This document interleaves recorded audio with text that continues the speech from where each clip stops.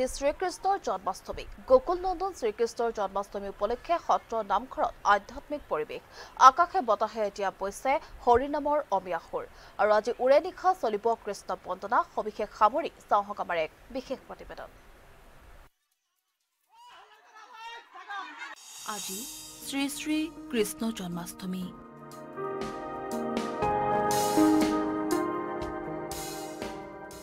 জন্মাষ্টমী উপলক্ষে সত্ৰ নামঘৰত আধ্যাত্মিক পৰিৱেশ। উৰে নিশা চলিব কৃষ্ণ বন্দনা।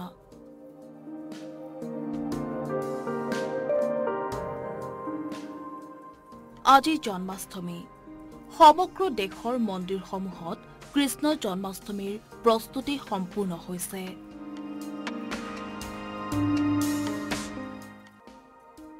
শ্ৰীকৃষ্ণৰ জন্মভূমি মথুৰালৈ ভক্তৰ লানি নিচিঙা সোঁত বৈছে।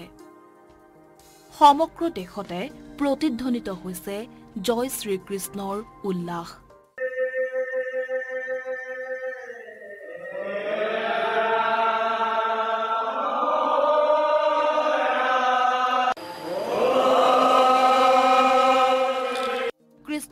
ভক্তসকলে উলহ মালহেৰে উদযাপন কৰিছে জন্মাষ্টমী। কৃষ্ণ জন্মাষ্টমী উপলক্ষে অসমৰ ভিন্ন প্ৰান্তৰ নামঘৰ সত্ৰসমূহো মুখৰিত হৈ পৰিছে হৰিনামৰ ধ্বনিৰে। আকাশে বতাহে বিয়পি পৰিছে হৰিনামৰ অমীয়া সুৰ।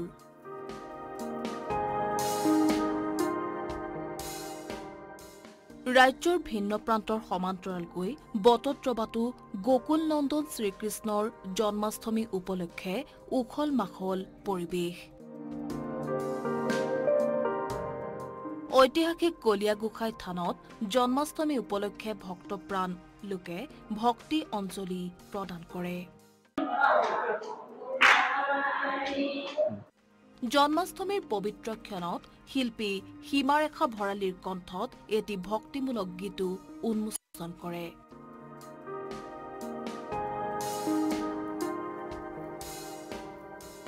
খোল প্ৰসংগ নাম কীৰ্তনৰ পাছতে সন্ধ্যা বিষ্ণু হোম আৰু নিশা জন্মযাত্ৰা নাট পৰিৱেশন কৰিব স্থানীয় ৰাইজে। সদতিলৈকে নমস্কাৰ জনালোঁ আৰু জন্মাষ্টমীৰ শুভকামনা সকলোকে জনালোঁ। আজি শ্ৰী শ্ৰী কৌচুম সত্ৰ আমাৰ চাৰিশ আঠতম শ্ৰীকৃষ্ণ জন্মাষ্টমী উৎসৱভাগ পালন কৰিবলৈ আমি আগবাঢ়িছোঁ। আজি দ্বিতীয় দিনৰ কাৰ্যসূচী। কালি গন্ধব্য পালন আছিলে আজি দ্বিতীয় দিন এতিয়া আইসকলৰ নাম প্ৰসংগ চলি আছে। আমাৰ ধৰ্মধ্বজা উত্তোলন কাৰ্যসূচী হৈ গৈছে। এতিয়া শোভাযাত্ৰা আৰম্ভ হ'ব। তাৰপিছত ফুল প্ৰসংগ আৰু ভকতৰ প্ৰসংগ হ'ব। তাৰপিছতে প্ৰসাদ বিতৰণ আৰু ভোগ বিতৰণ হ'ব। ইয়াৰ পিছত মহাপ্ৰভু কলীয়া গোসাঁই যি বিষ্ণু চতুৰ্ভুজ মূৰ্তি তেখেতক দৰ্শনাৰ্থী দৰ্শনৰ কাৰণে আমি চাৰিটাৰ পৰা পাঁচটা বজাৰ ভিতৰত তেখেতক বাহিৰলৈ উলিওৱা এটা পৰম্পৰা আছে বছৰত এদিনেই উলিওৱা হয় আৰু দৰ্শনাৰ্থীক দৰ্শন কৰিবলৈ দিয়া হয়।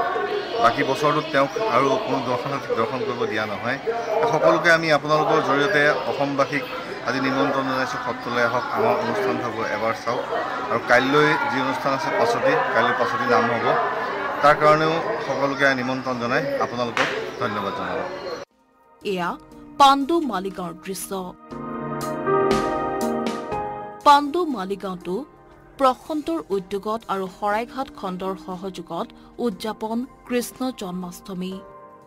জন্মাষ্টমী উপলক্ষে বিভিন্ন প্ৰতিযোগিতাৰো আয়োজন কৰে উদ্যোক্তা সমিতিয়ে।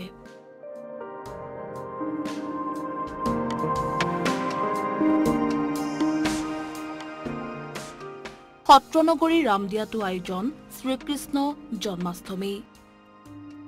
জন্মাষ্টমী উপলক্ষে পুৱাৰ ভাগত ৰামদিয়াৰ ৰাজপথত ভাগৱত ভ্ৰমণ আৰু সাংস্কৃতিক শোভাযাত্ৰা উলিয়াই শংকৰদেৱ সংঘ শাখা নামঘৰে।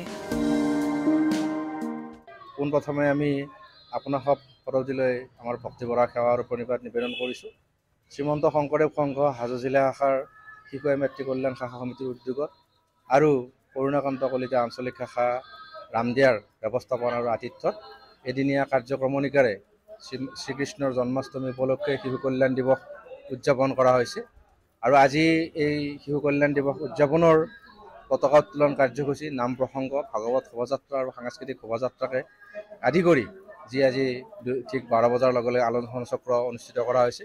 গতিকে আটাইখিনি কাৰ্যসূচীতেই আমাৰ জিলা তথা আঞ্চলিক শাখাৰ বা বায়ুমেট্ৰিক সমস্ত তথা উদ্বোধক আৰু বিষয়ববীয়া যিসকল আমন্ত্ৰিত আৰু বিশিষ্ট অতিথি আলোচক সমন্বিতে সন্মানীয় অতিথি মুখ্য অতিথি সমস্তজনে আমাক এই কাৰ্যসূচীত সহযোগ আগবঢ়াইছে আৰু তাৰা সমস্তই এই অনুষ্ঠানভাগীৰ সৰ্বতোপ্ৰকাৰৰ সাফল্যমণ্ডিত কামনা কৰিছে।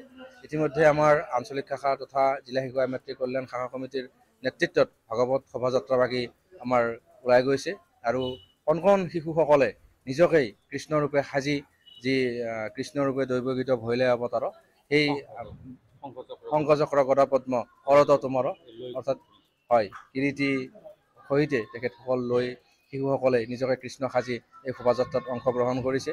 বাপসকলে উদ্যমেৰে ন উদ্যমেৰে প্ৰভু ভগৱন্তৰ আৰু শ্ৰীমন্ত শংকৰদেৱ গুৰুজনাৰ গুণানুকীৰ্তন আহ, ঘোষা কীৰ্তন গাই নাম গাই গাই এই শোভাযাত্ৰাত তেখেতসকলেও গমন কৰিছে। নুমলীগড়তো একেই দৃশ্য। নুমলীগড়ৰ এক শৰণ ভাগৱতী সমাজৰ মহাপুৰুষীয়া পালনাম থানত জন্মাষ্টমী উপলক্ষে বৰ্ণাঢ্য আয়োজন।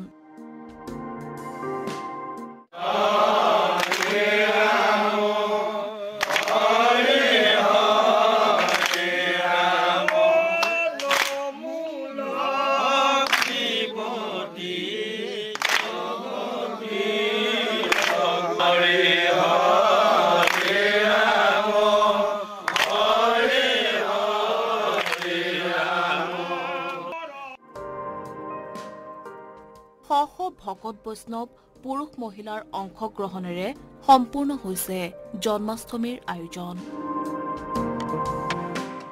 আমাৰ সৰ্বভাৰতীয় উৎসৱ জগৎ গুৰু পৰমেশ্বৰ ঈশ্বৰ সৰ্বভূতানাং সিদ্ধেশে অৰ্জুন তিষ্ঠতি ব্ৰাহ্মণ সৰ্বভূতানি যন্ত্ৰাদুহানি মায়া। তমেব শৰণং দস্য সৰ্বভাবিন ভাৰত তৎপ্ৰসাদত পৰাং শান্তিং স্থানং প্ৰাপ্ততি শাশ্বত এয়া গীতাৰ বাণী পৰম ব্ৰহ্ম ঈশ্বৰ কৃষ্ণই। এক শৰণৰ মহাবাণীৰ জৰিয়তে সমস্ত জগতৰ জীৱ জগতক উদ্ধাৰ অৰ্থে তেওঁ এশৰণৰ মহাবাণী। শ্ৰীমদ ভাগৱত গীতাৰ শ্ৰীমদ ভগৱত গীতাৰ জৰিয়তে দি গৈছিল সেই একশৰণ ভাগৱতী সমাজ সেই একশৰণৰ সাধনাত মুখী সমাজ। সাধন ৰূপ্ত অৱস্থাত এই সমাজখন আগুৱাই গৈ আছে। জগতগুৰু শংকৰ মাধৱ দুজনা গুৰুৰ অভিন্ন আচাৰ্য ইলাৰাম দাস বা পিছৰে। এই মহান সমাজখন প্ৰতিষ্ঠা কৰিছিল।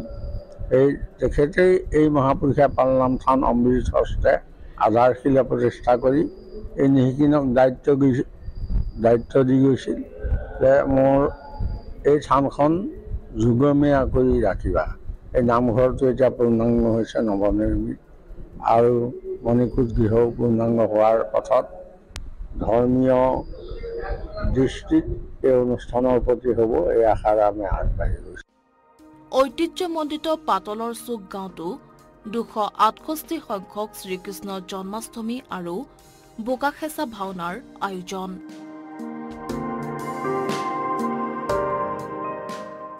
ভকতক আদৰিবলৈ সীমাহীন উৎসাহ গাঁওবাসীৰ। ভক্তপ্ৰাণ ৰাইজ উপস্থিত হৈ নামঘৰত শৰাই শলিতা নৈপত্য আগবঢ়ায়। এয়া গুৰেশ্বৰৰ দৃশ্যাংশ। গুৰেশ্বৰতো বিশ্ব হিন্দু পৰিষদ বজৰং দলৰ উদ্যোগত শ্ৰী শ্ৰীকৃষ্ণৰ জন্মাষ্টমী মহোৎসৱ উদযাপন।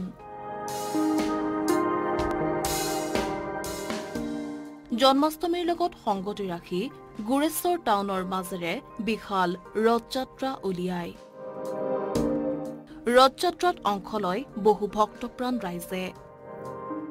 আমাৰ কৃষ্ণৰ জন্মাষ্টমী আৰু এই দিনটোতে ঊনৈছশ ছয়ষষ্ঠি চনত বজৰং দল বিশ্ব হিন্দু পৰিষদৰ প্ৰতিষ্ঠা হৈছিলে। গতিকে সেই দিনৰ পৰা আহি আহি আজিৰ এই অৱস্থা প্ৰাপ্ত কৰিছে।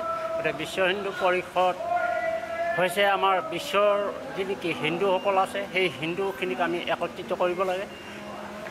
হিন্দু ধৰ্ম হিন্দু সনাতন ধৰ্মই আমাৰ বিশ্বত শান্তি প্ৰতিষ্ঠাৰ কাৰণে প্ৰচুৰ দৈৱ কুটুম্বকম এই মনোভাৱেৰে কাম কৰি আহিছে। গতিকে আমি জানো গোটেই বিশ্বখনেই আমাৰ কুটুম। গতিকে আমি এই বিশ্বত যাতে শান্তি প্ৰতিষ্ঠা কৰিব পাৰোঁ সেইটো আমি আশাবাদী।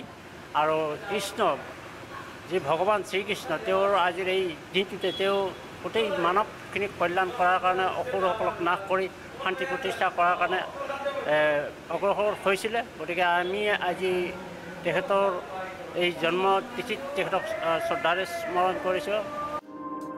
এনেদৰেই দেশৰ ভিন্ন প্ৰান্তৰ সমান্তৰালকৈ অসমতো বৈষ্ণৱ ধৰ্মাৱলম্বী লোকসকলৰ লগতে সকলো অসমীয়াই উদযাপন কৰিলে শ্ৰীকৃষ্ণৰ জন্মদিন অৰ্থাৎ Janmashtami. Bureau report Assam talks.